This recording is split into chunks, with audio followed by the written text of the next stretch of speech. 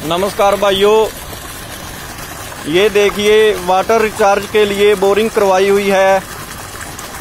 रात को गाँव माणार माणी में जो हरियाणा करनाल ज़िले का है, भयंकर बारिश हुई थी यहाँ पर और जिमीदारों की फ़सलें डूब चुकी हैं। दूर दूर तक पानी ही पानी नज़र आ रहा है। हमने फेसबुक पे पहले देखा था, किसी सरदार जी ने वीडियो डाल रखा था वाटर रिचार्जिंग का।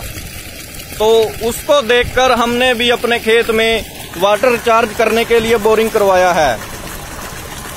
ये देखिए, लगभग एक मोटर के बराबर का पानी इस बोरिंग में जा रहा है।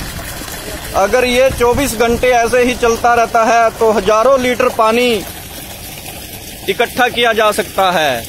हमारी किसानों से यही गुजारिश है कि जो खेत नीचे हैं, जहाँ पर पानी इकट्ठा होता है बारिश का वहाँ पर ये बोरिंग करवाए जाएँ और वाटर लेवल को ऊपर लाया जाए। बीजेपी को, बीजेपी सरकार को हमने समर्थन दिया है।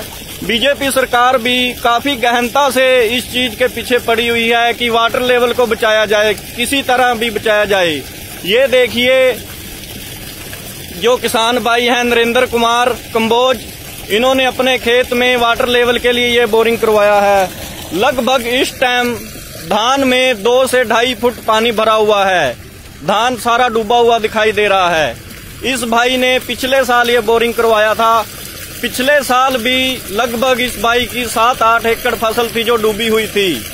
और उसको वाटर ले, इस बोरिंग की वजह से फ़सल को बचा लिया गया था। इससे वाटर लेवल भी ऊपर आता है और किसान भाई की फ़सल भी बचती है।